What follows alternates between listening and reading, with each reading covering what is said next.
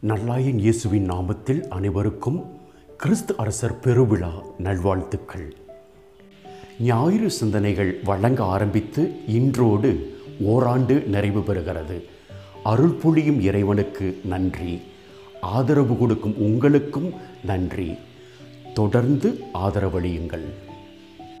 அதிகார மாணவம் கொண்டு வரலாற்றில் பரிதாப நிலையில் இறந்த தலைவர்கள் மத்தியில் கிறிஸ்து அரசர் பெருவிழாவை பொருளுணர்ந்து கொண்டாட அழைக்கின்றது இன்றைய நாள். மகா அலெக்சாந்தரனுடைய மரணப்படுக்கையில் சொல்லப்பட்ட வார்த்தைகள் இவை. சவப்பெட்டிக்கு வெளியே வைத்து மூடுங்கள் என் கரங்களை. ஒன்றுமில்லாமல் பிறந்தேன். எப்படியோ எதையெல்லாம் சம்பாதித்த நான் எதையும் எடுத்துச் செல்ல முடியவில்லை என மக்கள் உணர்ந்து கொள்ளட்டும் என்றார். கடவுளுக்கு மேலாக தங்களை உயர்த்தி கொண்டவர்கள் மகுடத்தின் அரசர்கள் மனித நயத்தை மறந்து வாழ்ந்தார்கள்.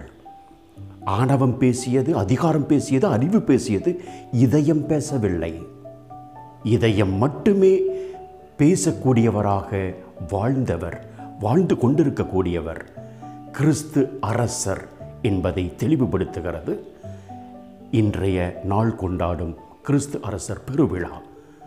அவருடைய பலம் மக்கள் அன்பே அவர் பேசும் மொழி. பதவியை பற்றி கொண்டு தங்களையே உயர்த்தி கொண்ட போலி தலைவர்கள் மத்தியில் இருந்து மக்களை பாதுகாக்க வேண்டும் என்று சொல்லி ஆயிரத்தி தொள்ளாயிரத்தி இருபத்தி ஐந்தாம் ஆண்டு இப்பெருவிழாவை திருவழிபாட்டின் ஆண்டின் இறுதி ஞாயிறில் கொண்டாட எல்லாருக்கு எல்லாமுமாக இருப்பவர் கிறிஸ்து அரசரே என உணர்த்தினார். திருத்தந்தை பதினோராம் பத்திநாதர்.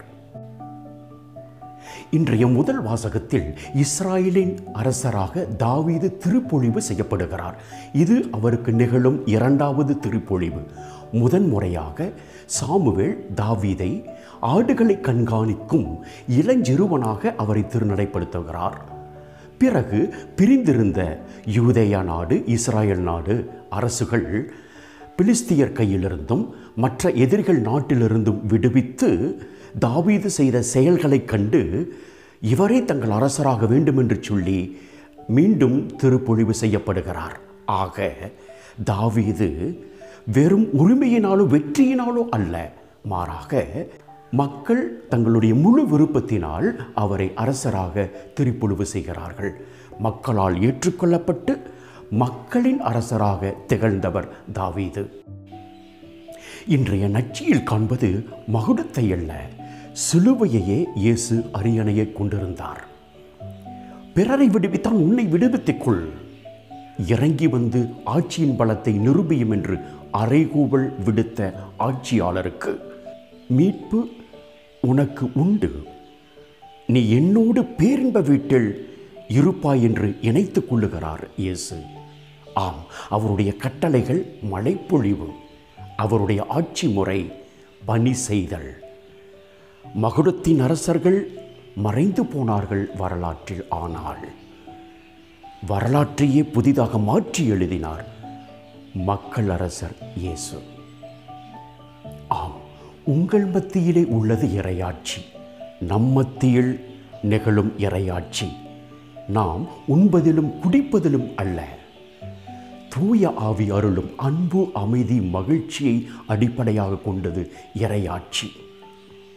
இறையாட்சியின் விளிம்புகளை வாழ்வாக்கி இறைவனை அன்பு செய்வதிலும் அடுத்தவரை அன்பு செய்வதிலும் வெறுப்பவர்களை ஏன் தீங்கு செய்பவர்களையும் அன்பு செய்வதிலும் இறையாட்சி நமது மத்தியிலே உள்ளது என்பதை உணர்ந்து இறையருளை வேண்டி இறைவனிடம் மன்றாடுவோம். Have a blessed week thank you video பிடிச்சிருந்தா லைக் பண்ணுங்க ஷேர் பண்ணுங்க சப்ஸ்கிரைப் பண்ணுங்க.